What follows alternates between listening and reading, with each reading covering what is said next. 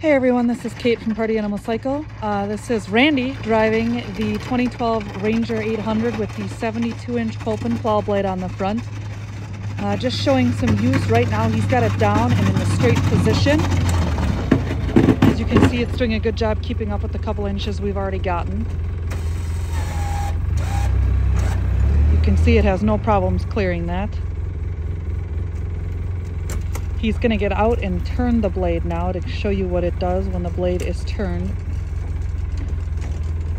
Again, the blade has five lock positions.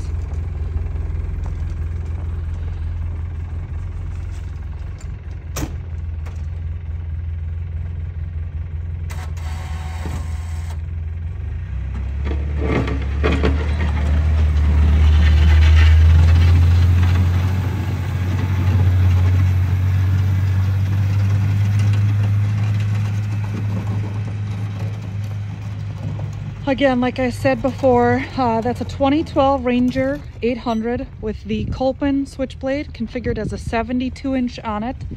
Uh, and there you can see him just clearing the path that he had made currently. Thanks for watching.